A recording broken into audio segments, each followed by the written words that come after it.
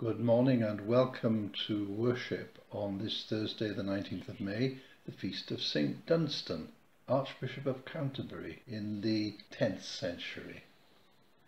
He often prayed as a monk through the creation of precious liturgical artifacts for which he became the patron saint of goldsmiths. And the legend says he was visited by the devil whilst working on a piece and he tweaked the devil's nose with hot tongs. He died in 988. O Lord, open our lips, and our mouths shall proclaim your praise. In your resurrection, O Christ, let heaven and earth rejoice. Alleluia. The night has passed, and the day lies open before us. Let us pray with one heart and mind. As we rejoice in the gift of this new day, so may the light of your presence, O God, set our hearts on fire with love for you, now and forever. Amen. Psalm 57 Be merciful to me, O God, be merciful to me, for in you my soul takes refuge. In the shadow of your wings I will take refuge until the destroying storms pass by. I cry to God Most High, to God who fulfills his purpose for me. He will send down from heaven and save me. He will put to shame those who trample me. God will send forth his steadfast love and his faithfulness. I lie down among lions that greedily devour human prey. Their teeth are spears and arrows, their tongues sharp swords. Be exalted, O God, above the heavens. Let your glory be over all the earth. They set a net for my steps, my soul was bowed down. They dug a pit in my path, but they have fallen into it themselves. My heart is steadfast, O God, my heart is steadfast. I will sing and make melody. Awake, my soul, awake, O harp and lyre, I will awaken the dawn. I will give thanks to you, O Lord, among the peoples. I will sing praises to you among the nations. For your steadfast love is as high as the heavens, your faithfulness extends to the clouds. Be exalted, O God, above the heavens, let your glory be over all the earth. Glory to the Father, and to the Son, and to the Holy Spirit, as it was in the beginning, is now, and shall be forever. Amen.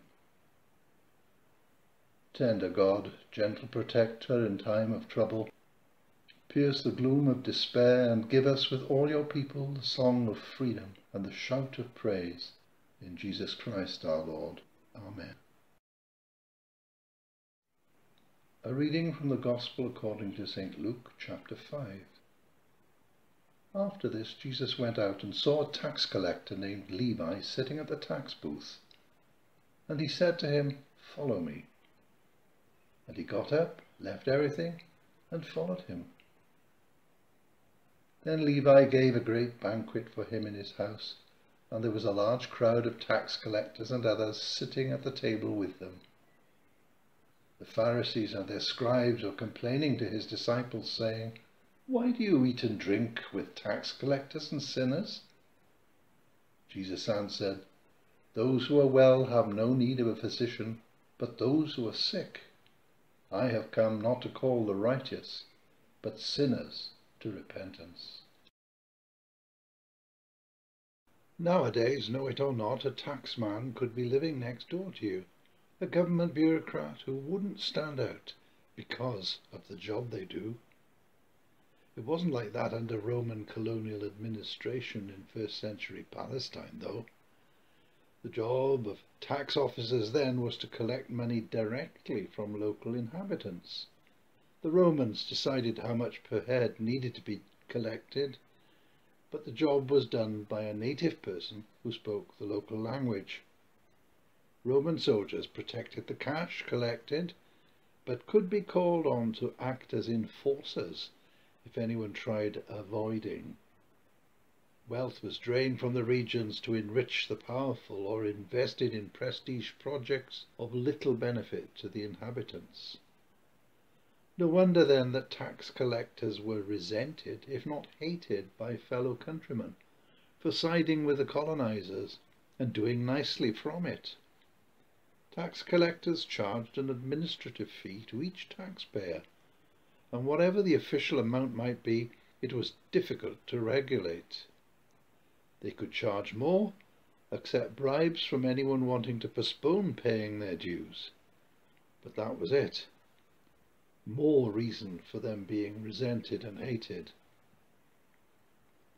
As with the story of Zacchaeus, the tax collector, it's Jesus who makes the approach to Levi and is seen to do so at his place of work, speaking to one person nobody else wants to talk to.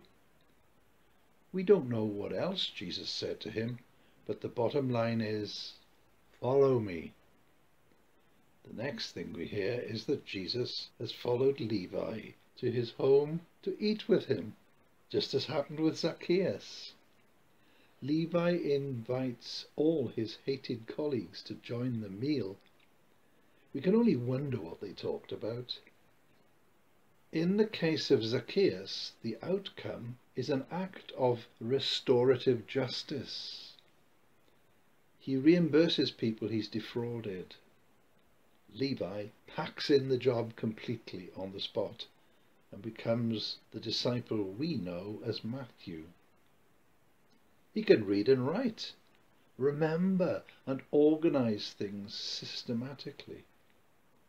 It's no wonder the first gospel was named after him, as its storytelling has elements of order reflecting a tidier mind at work. The actions of Jesus, hanging out with people shunned by the religious authorities, for betraying their culture and their compatriots doesn't escape criticism. Jesus is sure he's where his Father wants him to be, calling sinners to repentance. Let me interpret this for you in a way we may connect with a little more immediately today. When we sin, we cause suffering to ourselves and others. To repent is to rethink and change direction.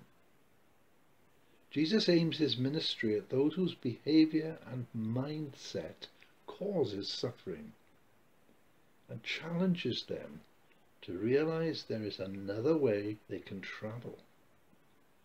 Quitting an oppressive, exploitative system to make a fresh start in life, as Levi and Zacchaeus did, is a key example of a faithful response to the word Jesus proclaims.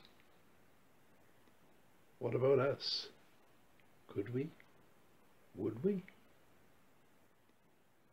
Death is swallowed up in victory. Where, O death, is your sting? We pray for God's grace.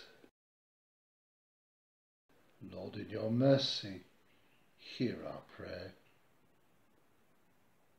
that we may draw other people to the fire of your love.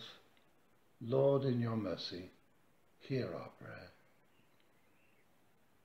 Have compassion, O Lord, on the sick and suffering, and all who suffer from the ravages of war.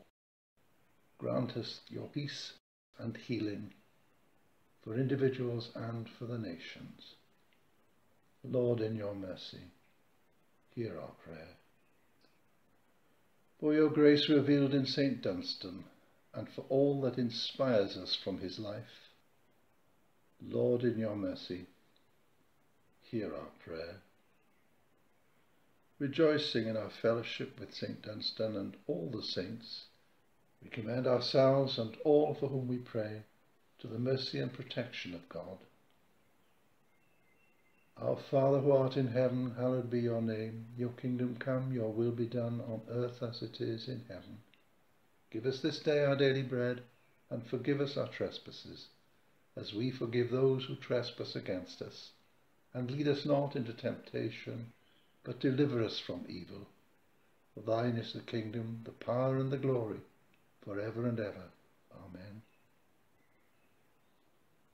Almighty God, you raised up Dunstan to be a true shepherd of the flock, a restorer of monastic life, and a faithful counsellor to those in authority.